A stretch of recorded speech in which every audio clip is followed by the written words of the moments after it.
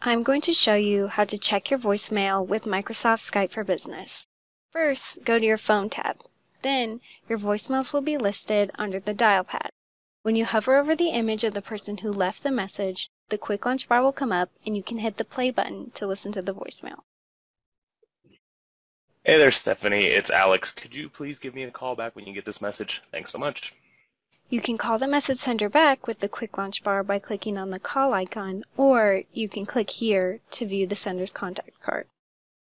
If you click the More Options icon, you can do everything offered in the quick launch bar and more, like email the sender or schedule a meeting with him or her. You can also open the item in Outlook, and this will open the voicemail item in the Outlook app so that you can view more information about the message. If you are a cloud PBX user, then you will be able to view the transcription of your voicemail by default. Microsoft Speech Technology does its best to listen to the voicemail and transcribe it for you here.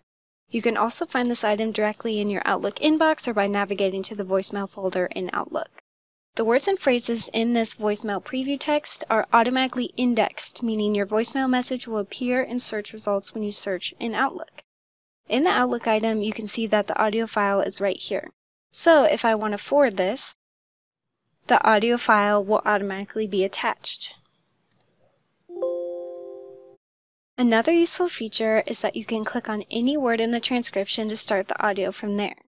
Call back when you get this message. Thanks so much.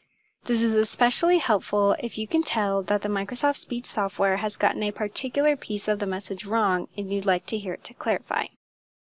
Because Skype for Business is integrated with your Outlook app, all your voicemails are saved in Outlook. Only your most recent voicemails will show up in Skype for Business.